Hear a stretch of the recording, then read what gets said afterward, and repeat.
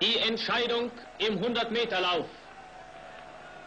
Die sechs schnellsten Läufer der Welt sind angetreten. Borgmeier, Weikhoff, Owens, Strandberg, Osendarp und Metcalf.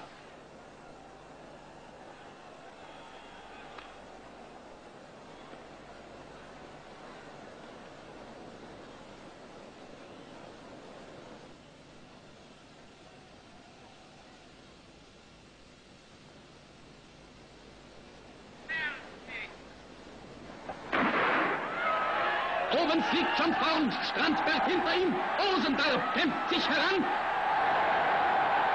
Metcalf kommt, Ziel! Sieger im 100-Meter-Lauf, Jesse Owens.